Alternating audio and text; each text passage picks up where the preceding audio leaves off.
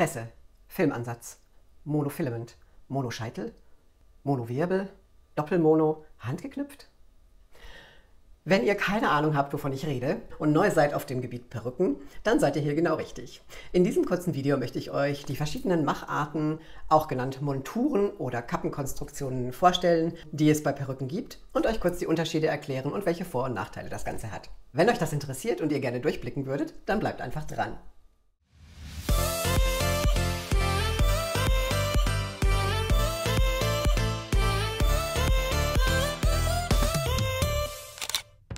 Hallo, herzlich willkommen in meinem Kanal. Mein Name ist Sarah und ich möchte euch heute die verschiedenen Perückenkonstruktionen, auch Monturen genannt, vorstellen. Wenn ihr gerade ins Thema Perücken einsteigt und nicht genau wisst, ähm, was das alles bedeutet und welches die richtige Perücke für euch ist, dann hoffe ich, dass ich etwas Licht ins Dunkel bringen kann. Ich werde euch jeweils Beispiele dazu einblenden, damit ihr seht, wovon ich rede. Es gibt natürlich noch diverse andere Macharten von Perücken, aber ich möchte euch die sogenannten medizinischen oder hochwertigen Markenperücken vorstellen. Wir fangen mit der einfachsten Art an und steigern uns dann langsam bis zur luxuriösesten Variante, die es gibt. Und das Ganze spiegelt sich natürlich auch im Preis wieder, während die einfachste Perücke fast komplett maschinell hergestellt wird oder zumindest mit Hilfe von Maschinen, ist die luxuriöseste Variante komplett handgeknüpft, was natürlich extrem viel mehr Zeit bedeutet und somit auch den höchsten Preis hat. Ich werde euch jeweils die deutschen und englischen Begriffe dafür geben, falls ihr auch mal in den englischsprachigen Shops einkauft. Ja, die einfachste Machart von Perücke nennt sich im Deutschen meistens Tresse und das englische Äquivalent dazu wäre Wefts oder Wefted, auch genannt Basic Cap oder Open Cap. Ein Beispiel dazu seht ihr hier. Das bedeutet, dass die Perücke aus einem Baumwollnetz besteht, auf das Bänder aufgenäht werden. Eine Tresse ist ein Band, auf dem die Haare oder Fasern, in dem Fall meistens sind es ja Kunstfasern, aufgenäht werden an einer Reihe und das Ganze wird dann in verschiedenen Lagen auf die Perückenkappe aufgenäht. Oben ist die Kappe entweder auch offen in einzelnen Tressen oder auch geschlossen, wie in dem Fall, den ihr hier seht, wo sich ein bisschen Permatease darunter befindet. Für die Fachbegriffe, auf die ich heute nicht im Detail eingehen will, könnt ihr euch auch gerne mein Video, das ich schon vor einer Weile gemacht habe, anschauen, wo ich die ganzen Fachbegriffe erkläre und das ich euch hier oben verlinke. Eine Basic Cap oder Tressenperücke ist natürlich grundsätzlich nichts Schlechtes und eignet sich besonders gut als Einsteigerperücke, weil der Preis natürlich auch dementsprechend niedrig ist und man erstmal damit Erfahrungen sammeln kann, ob man sich damit wohlfühlt etc. Meistens haben sie einen Pony in irgendeiner Art, also entweder einen kurzen oder einen langen, der, den man dann zur Seite trägt, wo man keinen Haaransatz sieht, damit das Ganze trotzdem einigermaßen realistisch rüberkommt. Die zweite Variante wäre eine Besonderheit von Ellen Wille, soweit ich weiß. Das ist der größte deutsche Perückenhersteller. Das nennt sich Mono-Wirbel oder im Englischen Mono-Crown. Da wird nur hier hinten ein kleiner runder Kreis mit, mit einem Monofilament, das ist so ein Netz eingesetzt.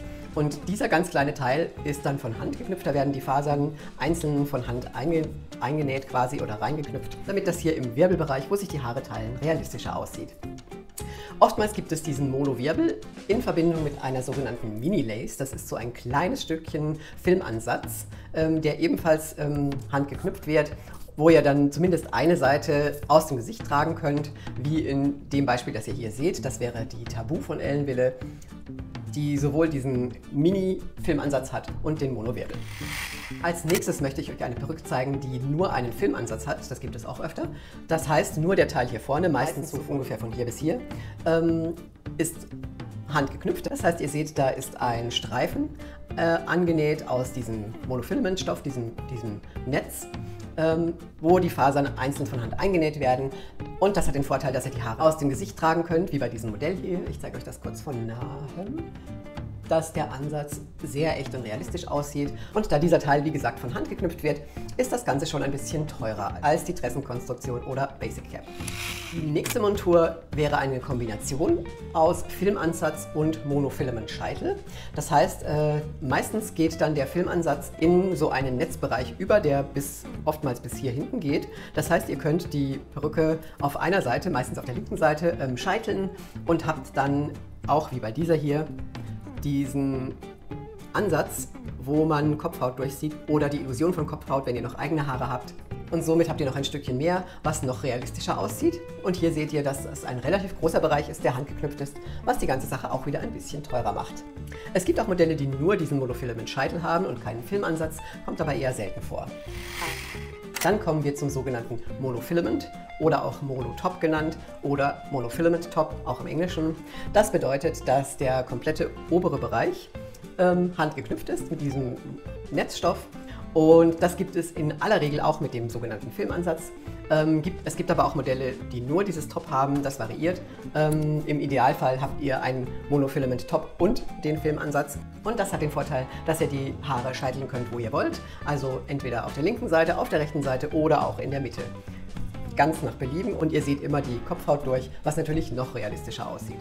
Diese Modelle sind dementsprechend auch wieder teurer als die, die nur einen Monofilament Scheitel haben. Dann gibt es noch eine Besonderheit, die nennt sich Doppelmono oder Double Monofilament. Das habe ich vor allem bei der Marke Amore gesehen, aber gibt es auch noch bei ein, zwei anderen Marken. Das bedeutet, dass dort ähm, das Monotop aus zwei Lagen besteht. Und zwar kommt unter diese Monofilament-Schicht eine zweite Lage mit einem hautfarbenen Stoff, der nicht transparent ist. Und so habt ihr eine noch bessere Illusion von Kopfhaut, wenn ihr zum Beispiel sehr dunkle eigene Haare habt und die darunter verstecken wollt und es sieht dann trotzdem nach Kopfhaut aus. Hier habe ich leider kein Modell, was ich euch zeigen kann, aber ich denke, ihr könnt es euch vorstellen.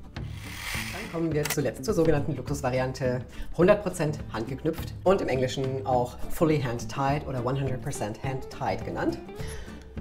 Das bedeutet, dass an diesen Brücken fast alle Teile aus diesem monofilament Stoff bestehen und komplett handgeknüpft sind. Also hier vorne der Filmansatz, das komplette Monofilament Top und der hintere Bereich, der komplett handgeknüpft ist.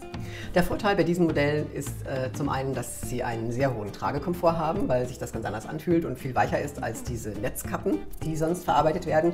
Und natürlich sehen die Haare rundherum so aus, als würden sie direkt aus der Kopfhaut wachsen. Das heißt, wenn ein Windstoß kommt äh, und die Haare hochfliegen oder ihr könnt sie auch gut hochstecken. Also da kann es nicht passieren, dass in solchen Fällen das Netz oder die Tressen durchblitzen. Ja, wenn ihr euch jetzt fragt, welche Variante ist die beste für mich, dann kann euch das vermutlich niemand beantworten. Das ist immer eine persönliche Vorliebe. Ähm, was euch besser gefällt, wie wichtig euch das ist, dass es sehr echt und realistisch aussieht. Manchen reicht die ganz normale Standardkappe und die sagen, sie brauchen den ganzen Schnickschnack nicht. Andere wiederum wollen nur mit komplettem Monotop oder nur handgeknüpft, weil sie sich damit einfach wohler fühlen und wissen, es sieht hundertprozentig echt aus, da kann nie was passieren. Das müsst ihr wirklich ausprobieren und schauen, was euch am besten gefällt. Natürlich ist es auch eine Geldfrage. Ähm, so eine komplett handgeknüpfte Perücke kostet natürlich einiges mehr als eine mit einer Standardkappe, die aber heutzutage genauso als eigene Haare durchgehen kann, wenn sie gut gearbeitet ist. Und diese hochwertigen Markenperücken, die ich auch hier in meinem Kanal immer wieder vorstelle, erfüllen das alle. Ja, ich hoffe, ich konnte ein bisschen Licht ins Dunkel bringen und ihr wisst jetzt einigermaßen, was diese ganzen Begriffe bedeuten und worauf ihr je nachdem achten müsst, wenn euch bestimmte Merkmale wichtig sind. Ich bedanke mich recht herzlich fürs Zuschauen. Wenn es euch gefallen hat, lasst mir gerne einen Like da. Und noch mehr würde ich mich freuen, wenn ihr auch meinen Kanal abonniert, damit ihr auch die nächsten Videos nicht verpasst. Ich hoffe, es geht euch gut, bleibt gesund und bis bald wieder im nächsten Video. Tschüss!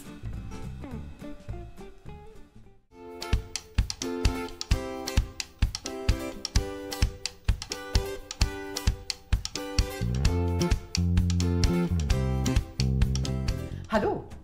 Herzlich willkommen in meinem Kanal. Mein Name ist Sarah und ich möchte euch heute und ähm, und und das und das Ganze wird und das Ganze wird und das Ganze und im Englischen Basic Cap oder damit ihr hier äh, beim Scheiteln, damit ihr an damit, damit es hier oben realistisch aussieht und vorne. Eine weitere Besonderheit, nee, Doppelmono oder Double Monofilament.